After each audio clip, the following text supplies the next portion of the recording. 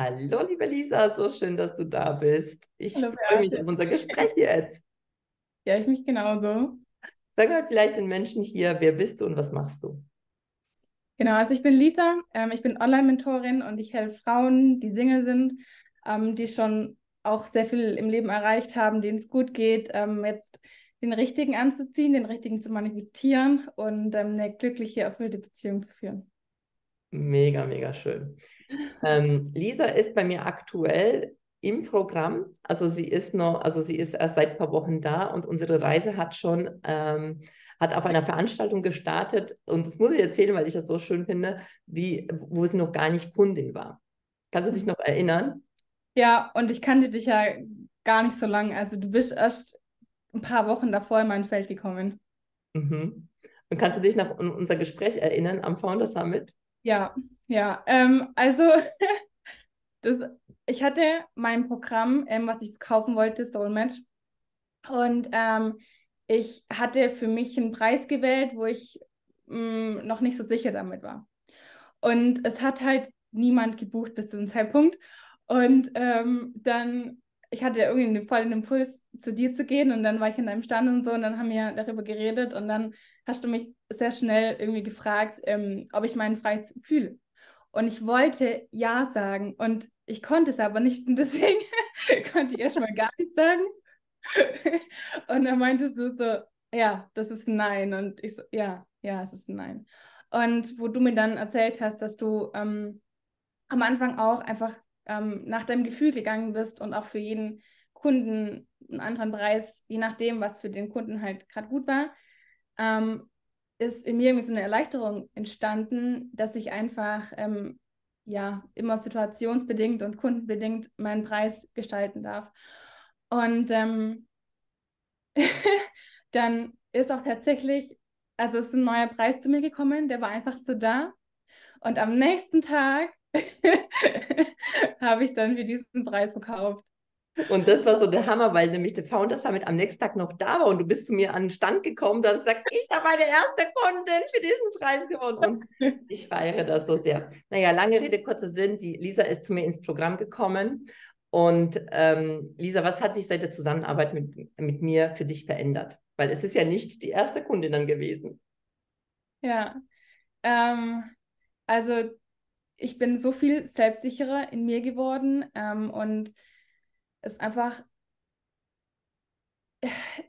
ich tausche mich die ganze Zeit mit meinem Buddy aus, ähm, den ich auch jetzt bei dir im Programm kennengelernt habe. Und ähm, es ist einfach, es ist richtig mega, welche, also welche Menschen in mein Leben gekommen sind. Ähm, und ich kann ja einfach die ganze Zeit nur sagen, dass, also es ist, es ist wie magisch, weil ich, ich sehe, dass ich mich in die Richtung entwickle, wo ich hin möchte und es passiert von alleine gefühlt. Es passiert von alleine gefühlt und ähm, es ist nicht von alleine, weil ich innere Arbeit mache, weil ich die Arbeit mache und weil ich ähm, durch die Zusammenarbeit mit dir und ähm, mit Bob Proctor, mit dem Thinking Intro Salz, so viel, sich einfach so viel verändert und ich mache, ich habe so tägliche Dinge, die ich mache, die ich integriert habe seitdem und ich mache sie auch sehr konsequent. Also es ist nicht, es ist nicht viel, tatsächlich und es sind viele kleine Dinge.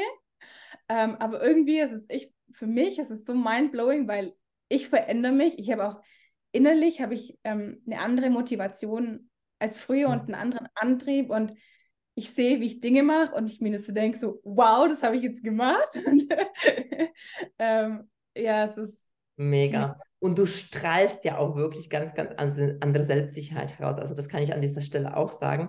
Und wenn ich dann sehe, was für Erfolge du dann auch teilst mit uns, wie viele Rechnungen du schreibst, wo ich denke so, wow, auch das ja. siehst du jetzt anders an. Ja, ja, es beginnt, also wirklich, es, es, es beginnt anders zu fließen. Es verändert, es verändert sich gerade. Und auch, ähm, ich glaube, also ich habe ja ähm, ein Reel gepostet, das jetzt fast über eine Million Aufrufe hat. Und das ist so krass, weil wirklich, es ist, es ist das erste Mal, dass ich jetzt wirklich so das Gefühl habe, meine Zielgruppe folgt mir, fängt an, mir zu folgen. Und es ist passiert, es ist die letzten zwei Wochen passiert, aber ich habe ja schon davor ein halbes Jahr tagtäglich was gemacht und ich merke jetzt so, wow, das, was ich rausbringe, das, was ich poste, das beginnt jetzt Früchte zu tragen und das, es erfüllt mich so, ja, mega und ja. Mich ehrlich gesagt auch erfüllt es sehr. Also mich erfüllt es auch, weil einfach deine Energie verändert. Also die hat sich einfach sehr, sehr verändert. Ja. Ja. Ähm, jetzt, Lisa, ganz, ganz ehrlich, hast du gezweifelt, bevor du zu uns ins Programm gekommen bist? Oder vielleicht sogar während du dich schon entschieden hast? Also, bevor nicht. Also eigentlich, weil ähm, geil, ich habe mir das ja eigentlich manifestiert. Ähm, ja. Weil ich habe schon, ähm, bevor du das rausgebracht hast, ähm, in deiner dreitägigen Masterclass, hatte ich einen Impuls, boah, ich will das Thinking into, into Results lernen. Mhm. Und dann äh, hast du so die Abundance Mastery gelauncht und ich habe einfach nur so gefühlt, ich will das machen unbedingt. Und ähm, ich habe es eigentlich auch nur wegen dem Thinking into Results gekauft. Und jetzt in den, äh, in den, in den Calls ist einfach, ich bin so offen dafür und ich empfange so viel von dir, was du sagst, das ist genial. Aber jedenfalls ähm, nach einem Monat oder so, weil ich habe es in sechs Raten gekauft, mhm. ähm, kamen zwischendrin schon starke Zweifel. Das war auch, als ich gerade äh, in Spanien war im Urlaub und ähm, einfach nur am Geld ausgeben, mehr oder weniger. und ähm, ja, und ich habe dir auch schon, ich habe dir auch sogar eine E-Mail geschrieben, dass ich gern zurücktreten möchte. Und ähm, habe das dann auch mehr, mehr, mehr oder weniger so abgegeben, so, hey, ähm, wenn du jetzt sagst, nein, dann bleibe ich. Und wenn du sagst, ja, es ist, es ist okay, dann ist auch okay, wenn ich gehe. Mhm. Ähm, und ich glaube, es wäre es ist beides okay, weil egal für was ich mich entscheide, es ist Fülle, es ist ja immer Fülle da. Nur, dass du gesagt hast, nein, es geht nicht. Ähm, ich habe mich dazu entschieden, ich habe es gekauft ähm, war erstmal so. und auch mein, auch äh, in meinem Umfeld, also mein Mann, der hat das ja mitbekommen, dass sie gekauft hat und so, da fand ich in dem Moment äh, gar nicht cool. das kann ich, das verstehe ich. Und ich kann es auch verstehen. Ja. Äh, ähm, und ich bin aber, ich bin mega dankbar, dass ich geblieben bin, dass es, ja, dass es alles so, so passiert ist, dass ich die Erfahrung machen durfte und ähm, war absolut die richtige Entscheidung. Ja, vor allem du hast ja, du hast ja zurücktreten wollen, bevor überhaupt die Live-Calls gestartet sind. Ja. Ich meine, das ist, äh, ne, also, und, und das ist halt so, so die Zeit, wo ähm, vielleicht ist auch für alle so wichtig, ne, ist, wie viel Mindfuck wir einfach haben, wenn sie sagen, ah, habe ich die richtige Entscheidung getroffen. Aber in dem Moment, wo du die Entscheidung getroffen hast, auch für alle, ne, in dem Moment, wo ich es fühle, ja, es ist die Fülle da. Aber mhm. dann, weißt du, dann vergessen wir es, ah, oh, was ist, wenn es nicht funktioniert und kommen diese Dinge. Und meistens werden genau die, oder was heißt nicht meistens, es werden immer die belohnt, die bleiben. Es werden immer die belohnt, die bleiben. Ist einfach und so. ich habe ja, also ich habe, ich wollte zurücktreten, weil ich nicht, also es wäre irgendwie schon ganz, ganz knapp gegangen, die Raten zu bezahlen irgendwie. Ähm, Jetzt im Nachhinein sehe ich, dass es nicht so funktioniert hätte, wie ich es mir überlegt habe, weil es passiert äh, im Leben viel anders, als man eigentlich denkt. Nur jetzt heute, die nächsten Raten, die noch auf mich zukommen, ich weiß, ich kann, ich kann sie locker bezahlen. Ja, ja, weil das, Geld jetzt geflossen ist. Ja, aber das Geld ist geflossen, weil du dir vertraut hast. Also doch irgendwie doch vertraut hast. Ja, mega cool. Ähm, was sagst du Menschen, die, ähm, die, nee, erstmal die Frage, was, was würdest du sagen, was ist das Besondere an der Zusammenarbeit mit mir? Ähm, ist einfach magisch.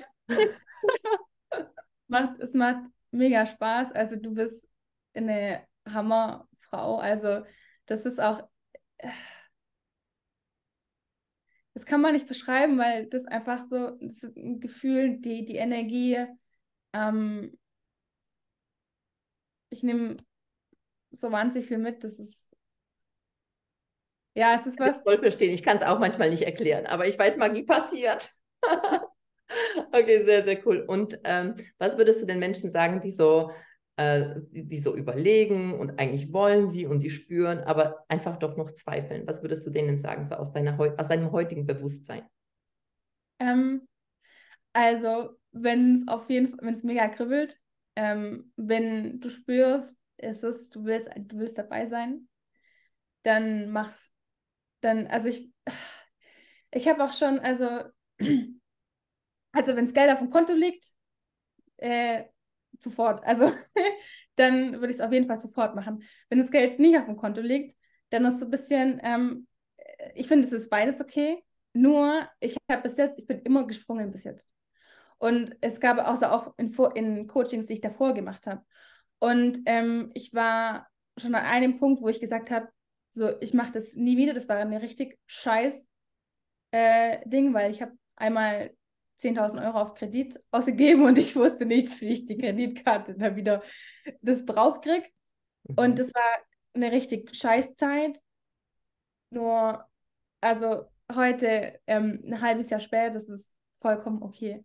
Mhm. Ich habe daraus mega viel, mega viel gelernt, mega viel mitgenommen und ähm, auf die eigene Intuition zu hören, wirklich, wenn es kribbelt, wenn, wenn du fühlst, du möchtest es machen, das bringt dich weiter, dann würde ich sagen, dass es, dass es auf jeden Fall machen solltest, solltest, ja. Danke dir, liebe Lisa, für dieses Interview und es ist ja eh erst der Anfang. Ja, immer. Ja, alles, alles Liebe. Wir sind ja noch eine Zeit lang miteinander verbunden. Von daher danke dir und alles Liebe. Danke dir.